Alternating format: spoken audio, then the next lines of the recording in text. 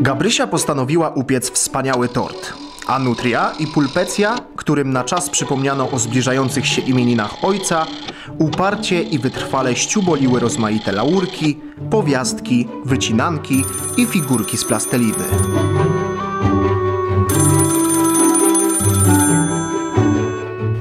Cześć ciociu, tu Gaba. Co tam znowu, nie daj Boże?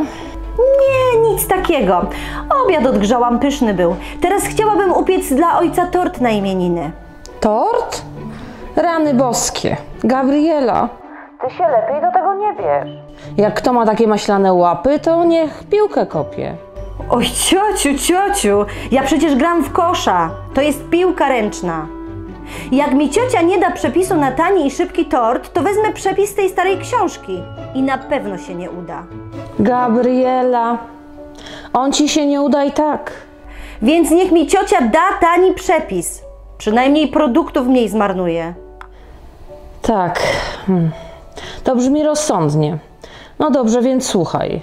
Kostka margaryny, Tak, już, już, momencik piszę. Mhm. Kostka margaryny. Cztery łyżki mleka, cztery łyżki kakao, kakao, Ciociu, ale skąd ja wezmę kakao? Przecież tego nigdzie nie można dostać. Stoi tam u was w szafce nad zlewem, wysuszone na kamień. Będzie w sam raz. Pisz dalej.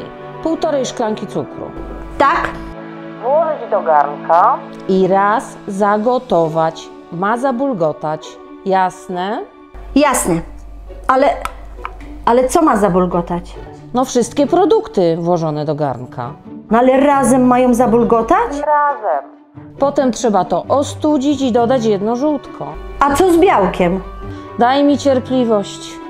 Gabrielo, Białko należy oddzielić od żółtka i wlać do miseczki. Aha. No co się ciocia gniewa? Ciociu, ja naprawdę chcę być dobrą gosposią. Dobrze, pisz dalej. Odlać z masy pół szklanki. Ale czego pół szklanki? No tej masy po upieczeniu posmarujesz nią tort. Aha. Do masy w garnku dodać trzy żółtka. A białka do miski. Szybko się uczysz. No, widzisz, ciociu, chcieć to móc. Dalej. Półtorej szklanki mąki, proszek do pieczenia, skórkę otartą z cytryny. Wymieszać, dodać piany z tamtych czterech białek. Znowu wymieszać i wlać do formy. A co tak ciocia głos obniżyła? Bo to już koniec. Koniec przepisu. I obleciał mnie strach, że dom podpalisz.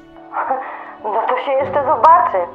To pa, ciociu, pa! Dziękuję za przepis i zadzwonię jak upiekę. Gabrysiu, dziecko kochane, Tak? Błagam cię. Uważaj na siebie. Ciociu, spokojnie. Postanowiłam być kobieca. I dlatego wszystko się uda. Wszystko.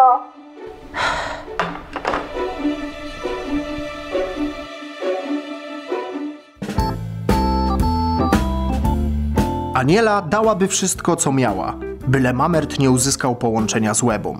Ojciec bowiem nie miał najmniejszego pojęcia, że odwiedziła ona Mamertów i rzecz jasna, nie był wtajemniczony w jej dalekosiężne plany.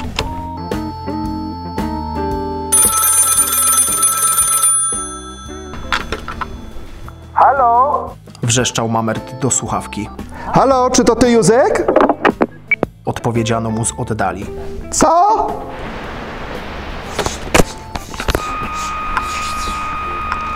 Proszę przekręcić przez zero. Zawołał Mamert uprzejmym głosem. Sam se przekręć. Zaproponowała słuchawka. No nareszcie. To ty, Józek? Nie, to nie ja. Odpowiedział chrapliwy głos w eterze. To znaczy e, ja, ale nie Józek.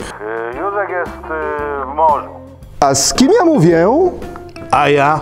Podejrzliwie poinformował się głos w słuchawce. Mówi Mamert Kowalik. A, A kto, przepraszam, przy telefonie? Nie ustępował Mamert, choć pewnego rodzaju rozpaczliwe przeczucie mówiło mu, że rozmowa raczej nie będzie należała do owocnych. Kurka. Padła wyczerpująca odpowiedź. Pani Kurka? Pan kurka, bucu jeden. Mamert zirytował się w mgnieniu oka. Proszę pana, chodzi o to, że córka Józka jest właśnie u nas. Niech mi pan pozwoli powiedzieć. Halo? Słodko wtrąciła telefonistka w łebie. Mówi się? Mówi. Y, Różnie bywa, y, pani kurka. Y, Dzieci uciekają z domów, pan rozumie. Chciałbym wiedzieć, co Józek o tym sądzi. Aniela wyjechała. Przerwał pan kurka. Nie ma w domu Anieli. Wyjechała, panie. Mówi się? Halo? Mówi się? Mówi. Pani kurka, ja wiem, że wyjechała. Ja Pytam, czy Józek o tym wie. Pojechała do Poznania. Do Poznania, panie. Zadzwo- zadzwoń pan. Eee, jutro, jak Józek wróci. Zdenerwował się pan kurka. Do widzenia. Do widzenia. Poddał się Mamert. Pan kurka powstrzymał się jeszcze chwilę od odłożenia słuchawki. Halo, to jak? Zadzwonisz pan jutro? Może, Rzekł Mamert. może. Dobranoc, panie kurka.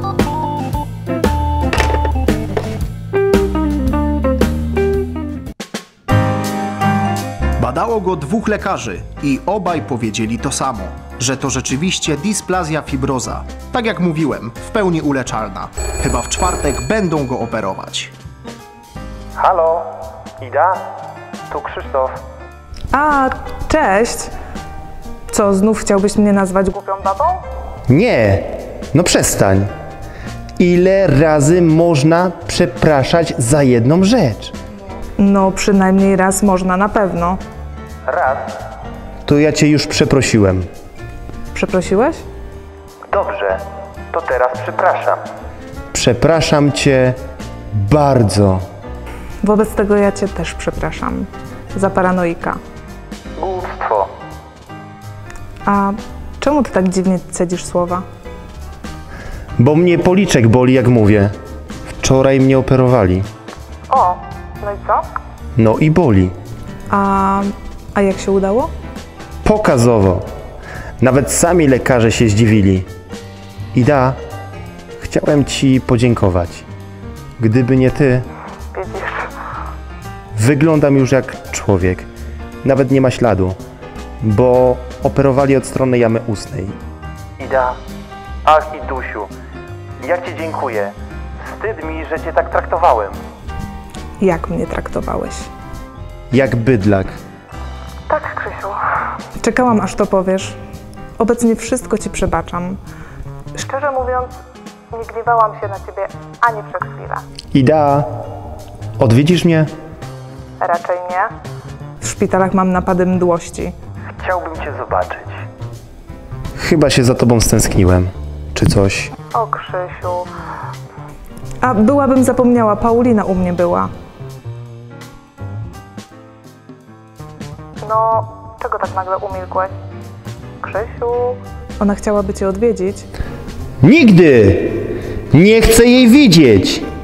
Ile razy mam wam to tłumaczyć? Nie drżyj się. Jest podła! Jak tu przyjdzie, to się zamknę w ciemni rentgenowskiej. I co? Znów tam będziesz siedział przez tydzień? Kto wie? No, jak chcesz, stary. Ale ja tam już do ciebie nie wlezę przez okno. Ida, poświęć się i przyjdź. Chciałbym cię zobaczyć. Krzysiu, zawracanie głowy. Zobaczymy się, jak wyjdziesz ze szpitala. Jednak strasznie jesteś kapryśny. Typowy jedynak.